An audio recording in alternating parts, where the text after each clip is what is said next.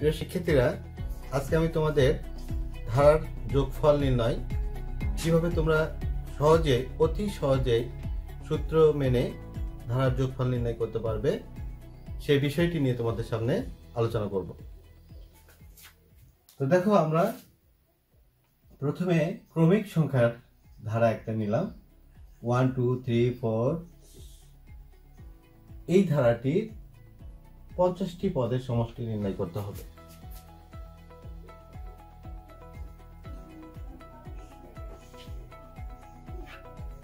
তাহলে এই যে, এই ধারার পঞ্চাশটি পদের সমষ্টি তোমরা কীভাবে নির্ণয় করবে? তার জন্য যে একটা সূত্র আছে, সূত্রটি হচ্ছে কি? যোগফল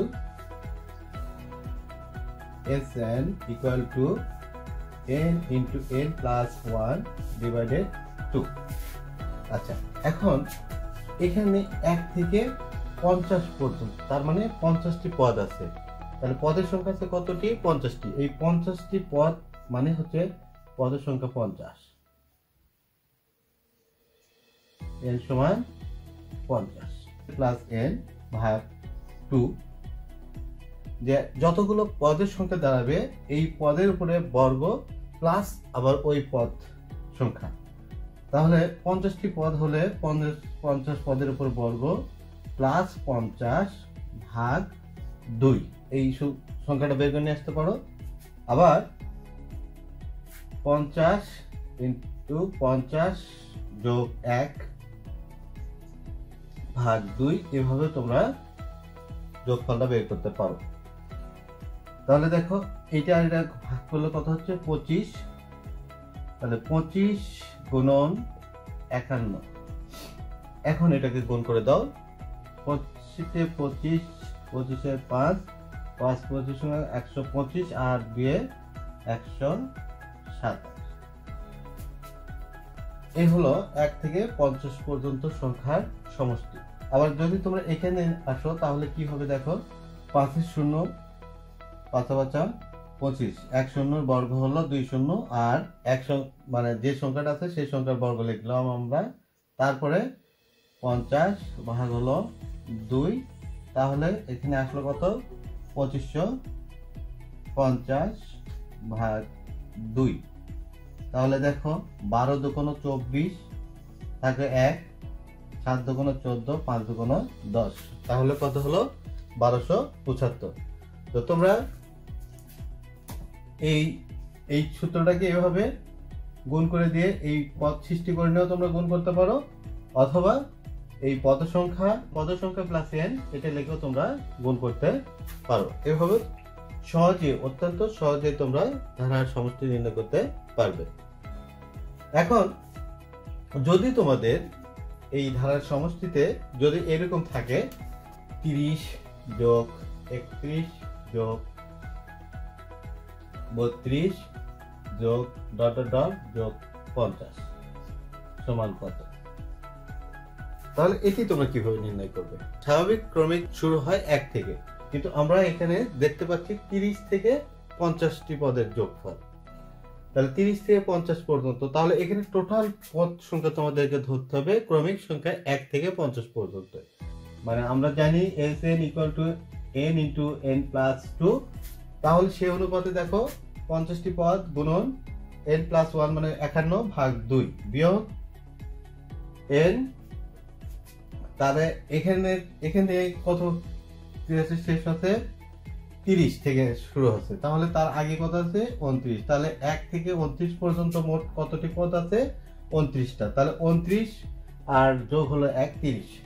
এখন তো কাটাকাটি করে দাও। তাহলে কত হচ্ছে এখানে? পঁচিশ। এটাকে কেটে দাও, কত হচ্ছে? পনেরো। এখন থেকে গুণ করে দাও। তাহলে পঁচিশ থেকে পঁচিশের পাঁচ পাঁচ পঁচিশ একশো পঁচিশ, আর হচ্ছে দুই, তাহলে হলো একশো সাতাশ একশো সাতাশ মাইনাস। এটা তিরিশ ধরি, তাহলে তিন পনেরো পঁয়তাল্লিশ। তিন পনেরো পঁয়তাল্লিশ, চারশো পঞ্চাশ। চারশো পঞ্চাশ, এখানে এক বিয়োগ করব, তার মানে পনেরোকে পনেরো। তাহলে পাঁচ, আর থাকল এক, তিন, তারপর হলো চার, তাহলে চারশো পঁয়ত্রিশ। আমরা এখানে চারশো পঁয়ত্রিশ বিয়োগ করে দিব। দেখো আমি গুণটা কীভাবে করলাম? এই যে উনত্রিশ আছে, সেটাকে আমি তিরিশ ধরে নিলাম। তাহলে তিরিশ বিয়োগ এক। এখন তোমরা তিরিশকে যদি পনেরো দিয়ে গুণ করো, তাহলে তিন পনেরো পঁয়তাল্লিশ আর পনেরোকে পনেরো। এই হলো চারশো পঁয়ত্রিশ তাহলে এইটা তোমরা এখান থেকে কি করবে? বিয়োগ করে দিবে। পাঁচ আর পাঁচে মিলে গেল শূন্য। তিন আছে কত হলে দশ? সাত হইবে চার। চার আছে কত হলে বারো হইবে আট। আর থেকে এক এক একে মিলে গেল। তাহলে আমাদের তিরিশ থেকে পঞ্চাশ পর্যন্ত এর সমষ্টি হবে চারশো আটশো চল্লিশ।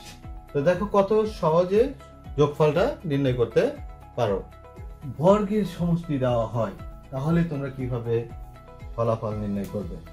One square plus two square plus three square plus dot dot dot, plus লেখলা হয়তো থাকল কত? পনেরো স্কোয়ার সমান হতে কত?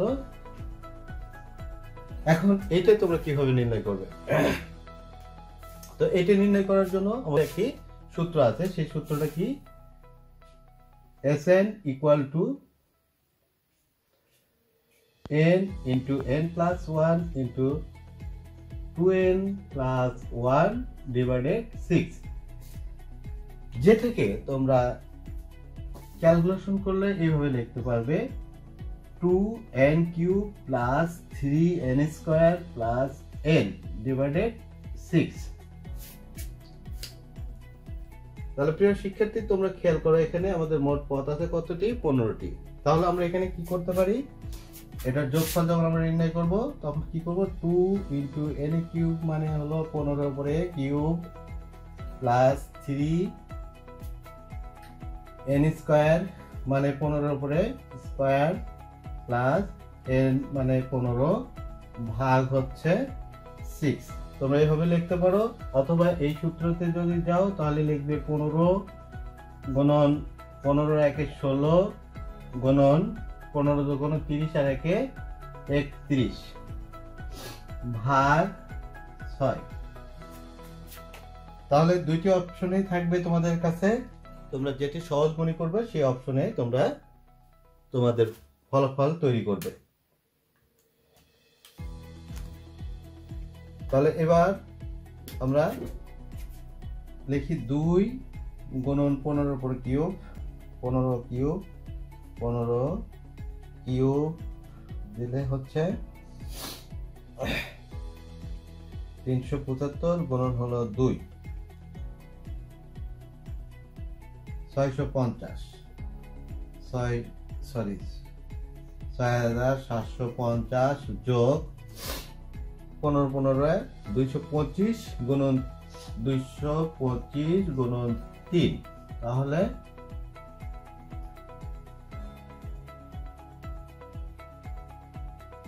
তিন পাঁচ পনেরোর পাঁচ, তারপরে তিন দুগুণ ছয় রেখে সাত, তিন দুগুণ ছয়।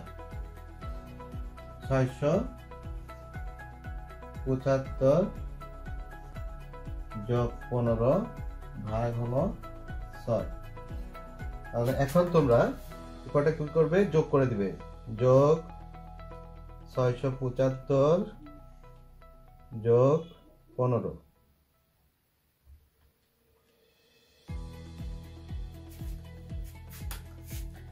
সাত হাজার চারশো চল্লিশ ভাগ ছয়।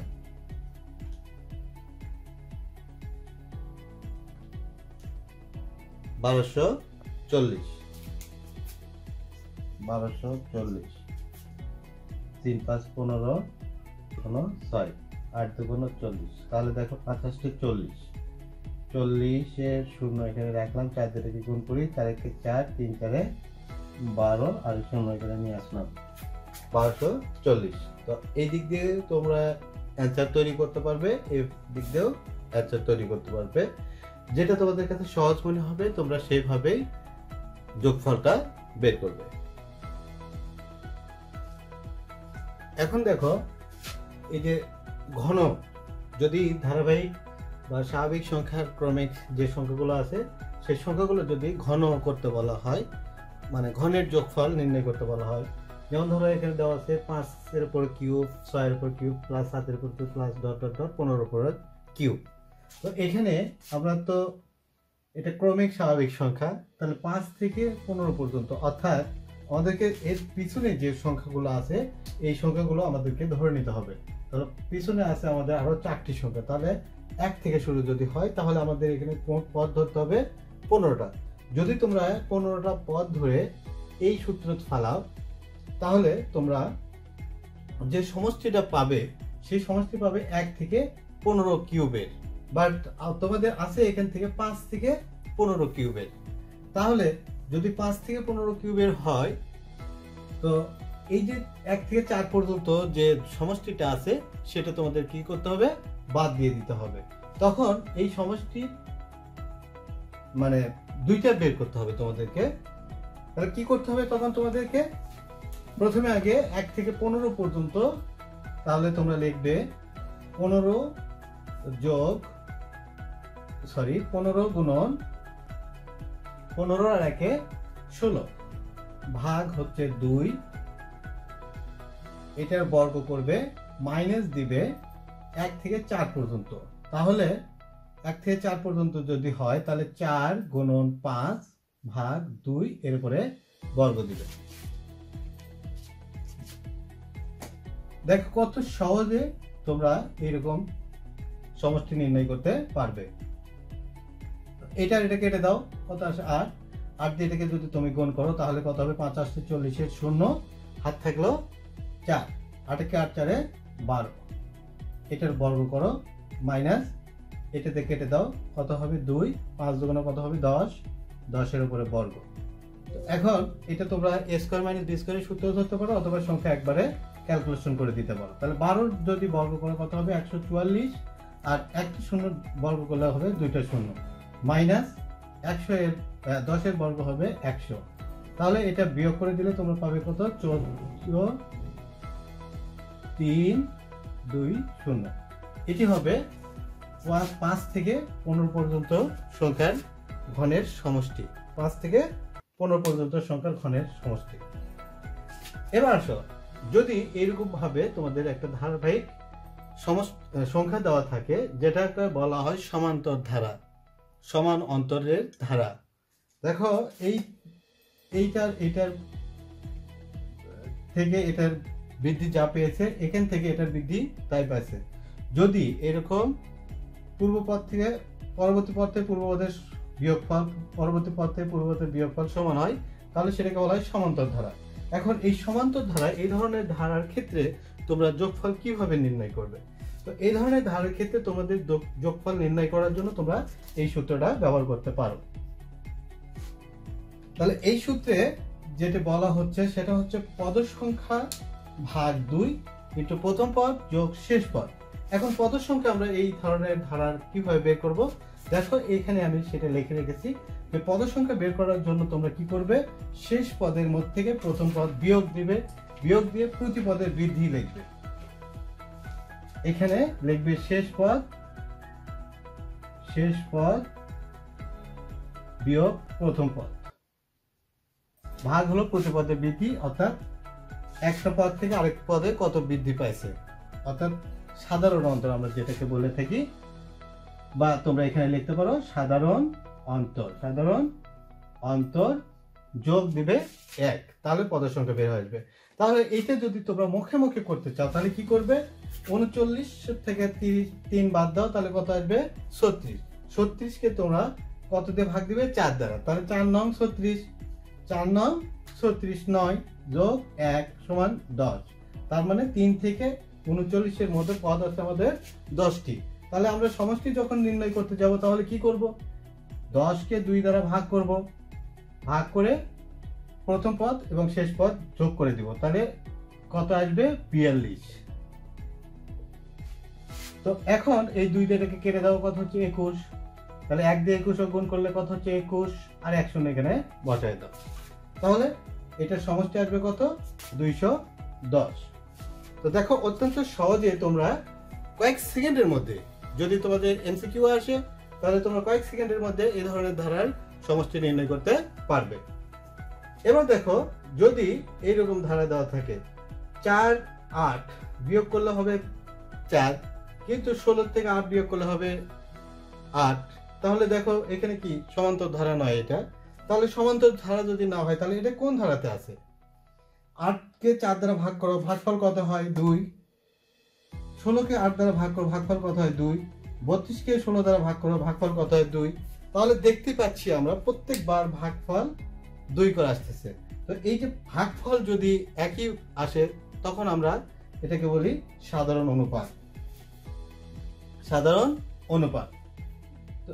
এই ধরনের ধারাকে বলা হয় গুণোত্তর ধারা। এই ধরনের ধারাকে কি বলা হয়? গুণোত্তর ধারা। মানে একই সংখ্যা ডবল হয়ে যাচ্ছে মানে দুই দ্বারা গুণ হয়ে যাচ্ছে, চার দুই দ্বারা গুণ করলে আট আট দুই দ্বারা গুণ করলে ষোলো ষোলো দুই দ্বারা গুণ করলে বত্রিশ, বত্রিশকে দুই দ্বারা গুণ করলে চৌষট্টি, এভাবে আসবে। তো এই যে যদি তোমাদের গুণোত্তর ধারা থাকে, তাহলে গুণোত্তর ধারার ক্ষেত্রে তোমরা পদের সংখ্যা কীভাবে বের করবে? গুণোত্তর ধারার ক্ষেত্রে তোমরা পদের সংখ্যা বের করতে গেলে তোমাদের কি করতে হবে?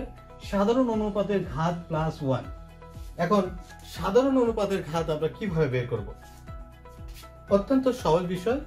এই শেষ পদে কি করবে? তোমরা প্রথম পদ দ্বারা ভাগ করে দিবে। শেষ পদকে প্রথম পদ দ্বারা ভাগ করবে। ভাগ করে যে সংখ্যাটা আসবে, তিন, চারে বারো, চার দুগুণ আট, দুই। এই বত্রিশ, এখন দেখো, এখানে কত আছে? দুই। তাহলে সাধারণ অনুপাত আছে কত? দুই। তাহলে দুইয়ের ঘাত করব আমি এটাকে, বত্রিশকে দুইয়ের ঘাত করব। তাহলে দুইয়ের পাওয়ার কত দিব আমরা? ফাইভ তাহলে দুইয়ের পাওয়ার কত দিলাম আমরা? ফাইভ এখন এই ফাইভ এর সাথে আমরা কি করব? এক যোগ করে দিব। তাহলে আমরা কি পেয়ে যাব? পদের সংখ্যা পেয়ে যাব। তাহলে ফাইভ প্লাস ওয়ান সমান কত হচ্ছে? সিক্স তাহলে গুণোত্তর ধারার ক্ষেত্রে যখন তোমরা সমষ্টি নির্ণয় করতে যাবে, তখন কি লিখতে হবে? প্রথম পদ, তারপরে গণন, সাধারণ অনুপাতের উপরে পাওয়ার হিসেবে আসবে পদের সংখ্যা মাইনাস এক, ভাগ হচ্ছে সাধারণ অনুপাত মাইনাস এক। তাহলে আমরা এই ধারার যদি যোগফল নির্ণয় করতে যাই, তাহলে আমরা এখানে কত কত পাবো? দেখো, প্রথম পদ হচ্ছে চার, এরপরে আমরা গুণন দিলাম সাধারণ অনুপাত। তো সাধারণ অনুপাত আমাদের কত আসছে? সাধারণ অনুপাত হচ্ছে আমাদের সাধারণ অনুপাত হচ্ছে দুই। তাহলে দুই এর পাওয়ার, অর্থাৎ পদ সংখ্যা তাহলে পদ সংখ্যা কত আসবে? সিক্স এরপরে আছে কি? এরপর আছে মাইনাস ওয়ান মাইনাস ওয়ান এরপরে ভাগ দিবে কি সাধারণ অনুপাত? তো সাধারণ অনুপাত কত আছে আমাদের? দুই বিয়োগ এক। এবার তোমরা ক্যালকুলেশন করে দাও। তাহলে দুইয়ের থেকে এক বিয়োগ করলে এক, লেখার প্রয়োজন নাই। তাহলে এখানে লেখো চার গুণন। এখানে দেখো দুইয়ের পাওয়ার ছয়। তাহলে দুইয়ের পাওয়ার পাঁচ হলে বত্রিশ, ছয় হলে কত হবে? চৌষট্টি। তাহলে চৌষট্টির মধ্যে থেকে এক বাদ দাও, কত আসবে? তেষট্টি। তাহলে তেষট্টিকে তোমরা চার দ্বারা গুণ করো। তিন চারে বারো, দুই, চার ছয় চব্বিশ আর একে পঁচিশ। দুইশো বাহান্ন। দেখো, কত মজা, একেবারে এত সহজ, এত এত সহজে আমরা যোগফল নির্ণয় করতে পারব যা আমরা কখনো চিন্তাই করতে পারি না। তো গুণোত্তর ধারার ক্ষেত্রে একটু প্রবলেম আছে, সেটা হচ্ছে যে যদি গুণোত্তর ধারার ক্ষেত্রে এই সাধারণ অনুপাতটা এক থেকে ছোট হয়, তাহলে সূত্রটা হবে তোমাদের ওয়ান মাইনাস সাধারণ অনুপাত, তারপরে পদ পদের সংখ্যা ডিভাইডেড ওয়ান মাইনাস সাধারণ অনুপাত। এটা হচ্ছে যদি এক থেকে সাধারণ অনুপাতের মান ছোট হয়, তাহলে এই সূত্র দিয়ে তোমাদেরকে যোগ করতে হবে। আর যদি এক থেকে বড় হয়, তাহলে এই সূত্র দিয়ে তোমরা যোগফল নির্ণয় করবে। আশা করি ধারার যোগফল নির্ণয়ের ক্ষেত্রে আর তোমাদের কোনো সমস্যা থাকবে না। এরপরেও যদি তোমাদের কোনো সমস্যা থাকে, তাহলে তোমরা কমেন্টে লিখলে আমি অবশ্যই তোমাদের কমেন্ট করে সেটির উত্তর দেওয়ার চেষ্টা করব। আজকে এখানে রাখছি। সবাই ভালো থেকো, সুস্থ থেকো। আল্লাহ হাফেজ।